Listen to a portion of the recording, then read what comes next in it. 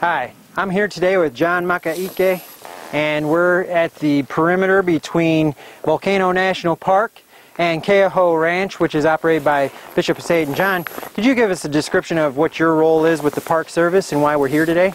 Um, it's vegetation management, um, pest control, and uh, what we're doing here is part of our um, native reforestation, reforestation project. Mm-hmm.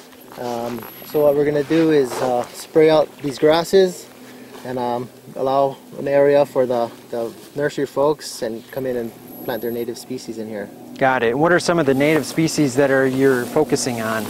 Uh, we have a lot of Naio, Pilo, Mamane, Mamaki, um, probably about 13 different species, you know, all from this area.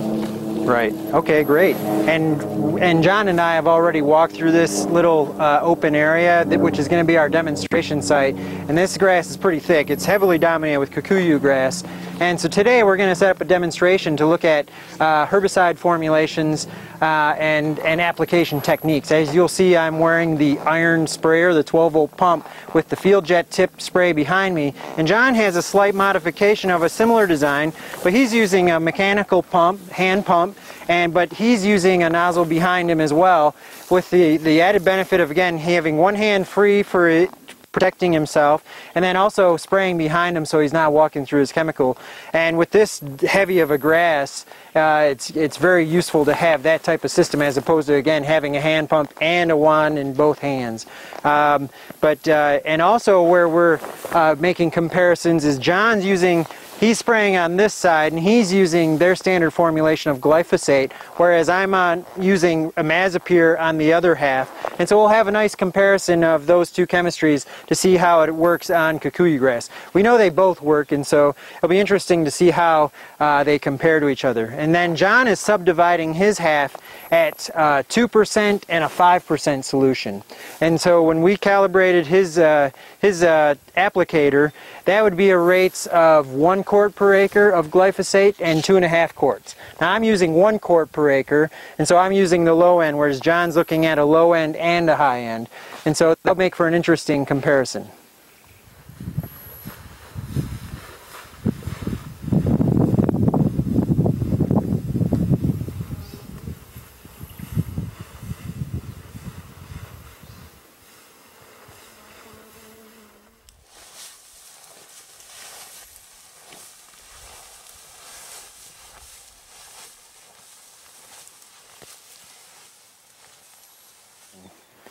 Okay, so John and I are back at the Half Moon site along the uh, perimeter of the Volcano National Park where we set up a demonstration for grass control and uh, where John applied Roundup or the glyphosate formulation, we compared that with an imazapyr formulation and it looks like we're about 150 days after application and it looks like both the chemistries worked really well for us in controlling the grasses. Mm -hmm. Now, um, John, you've been back here a couple of times uh, since we made that application back in September, mm -hmm. and we're now in February. What did you notice in between uh, when we sprayed and now?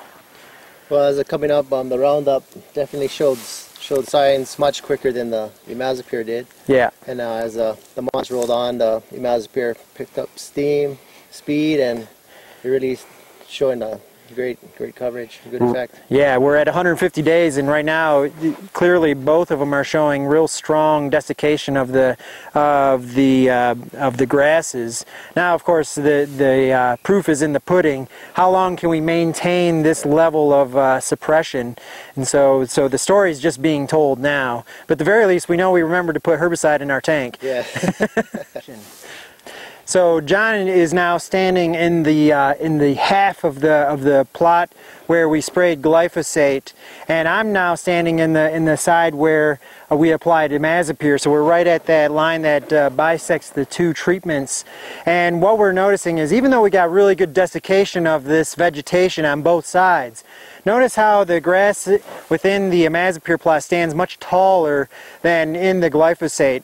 And what this is telling me, and I've seen this before, where the glyphosate act much faster. This is more of the, the hare and the tortoise uh, story, where because it uh, acted much faster in, and killing off and suppressing the grasses, we also are at much more advanced in a, in a thatch uh, breakdown. Whereas this one was so slow to respond that it kind of was in a frozen, suspended state of animation. We also notice a difference in the tone and coloration of the imazapyr treated vegetation versus the tone and coloration of the glyphosate treated vegetation, suggesting a different stage of decomposition. We're noticing within the glyphosate plots that the brackens are starting to germinate and also new regeneration of kikuyu grass, suggesting that the herbicide is no longer active. Within the imazapyr plot, we do not see any brackens germinating. And we do see green tissues on the kikuyu grass, but these tissues are older tissues with necrotic lesions, a classic symptom of imazapyr. So within the imazapyr plot, we're also noticing no collateral damage on this koa in controlling the grasses. If we did see sensitivity, we would see tip or apical burning on this tree, but we do not see that. In fact, this plant is flowering and has a healthy phyllodes canopy. And this is one of the reasons why we also like imazapyr. It turns out that koa has pretty good tolerance on this particular chemistry. So in trying to control grasses where koa is uh, one of your favored restoration species, this may be a very useful strategy. So John, your current formulation that you use for controlling grasses in here is the Roundup, right? Yes. Right. And that's a, it's a 2% formulation? Yes, for a knockdown. Yeah. yeah, and and it really it does a nice job for you in this in this area, and so I think I speak for both of us when uh, when I can say that it seems that both herbicides have provided uh, adequate and superior suppression of the grasses in this uh, little demonstration we did. It's August 6, 2009, and we're back at the Half Moon site on Volcano National Park. This area is also called Kipuka Alani. Now, at over 300 days ago, we had uh, established a field demonstration to compare glyphosate on my left with imazapyr on my right as a way to suppress kikuyu grass so that we could follow up with restoration of other native plant species. Now at this time, we notice that there is regeneration of the kikuyu grass and also of these bracken ferns, but it's much more accentuated within the glyphosate plots, showing the residual activity that imazapyr can show as an application. At over 300 days post-treatment, you can see the differences in residual activity between the imazapyr and the glyphosate.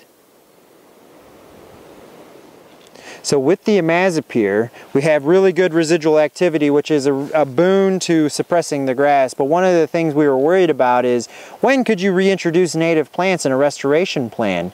Well, these plants were introduced back in June, and you can see this mamaki here has responded very well to the to the site conditions, suggesting that imazapyr uh, is not having any kind of adverse effect on the other plant species that were introduced. So just to provide some reference, here's an area that was untreated. It's heavily dominated by the bracken fern and the kikuyu grass versus where we administer a site preparation to suppress that vegetation, you can see how it's much more conducive to restoration. Within the imazapyr plots, we still have kikuyu grass regenerating, but you can see how it's in smaller patches. In the glyphosate plots, we have kikuyu grass that is much more advanced in regeneration.